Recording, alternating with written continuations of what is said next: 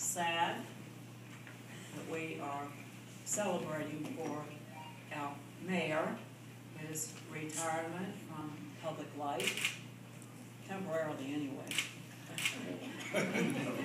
This is Tom, this is Mayor Tomzak's last meeting. He has served the city well for eight years. He and the councils he uh, supervised were, um, were very successful in lots of projects. Uh, new police station, two schools, a swimming pool, Cowan Boulevard, um, Murray, uh, pathways and trails, Fred bus, I mean, it goes on and on. It was a very productive eight years, and we're all very proud of him and grateful for his service.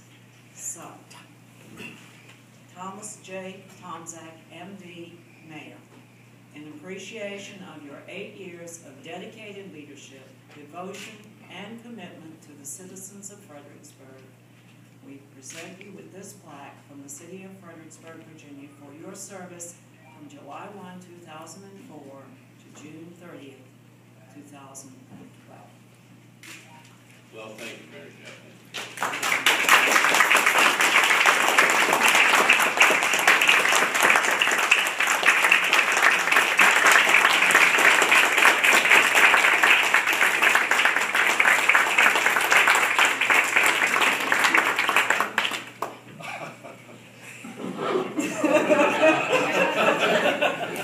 Don't worry, I'm here.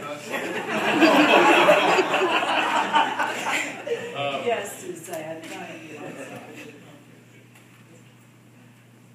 Well, thank you. This is a great honor. It's been a great honor to um, serve with the talented people that I've served with on the uh, city council. Um, Citizens of Fredericksburg, be assured, I leave you in good hands. Any misgivings, I did have some misgivings about not running again. However, they were dispelled by the last budget session in the courthouse. But, and uh, the citizens of Fred- Fredericksburg should know that you have a talented council, but you also have very talented city staff. Um, And you don't realize how hard and how good they are until you see them on a day-to-day basis. And uh, I have to thank uh, friends Michael Colangio, who's taught me how to read and write, Susan Spears, uh, you guys have been great friends. And um, the rest of the council, good luck, acting city manager Fawcett. Like I said upstairs, I was real worried when I first took this job when the city attorney who worked for the city for twenty-five years and the police chief who worked for twenty-five years, both retired right after I became mayor. It did make me a little paranoid, but uh, again, the city staff is great. Thank you all for coming. Thank you. All right, and I think, I think city manager, Mr. Fawcett, has some. Mayor, uh, we here in Fredericksburg uh, can be traditionalists, and uh, the traditional retirement present from an organization to a retiring executive is a watch.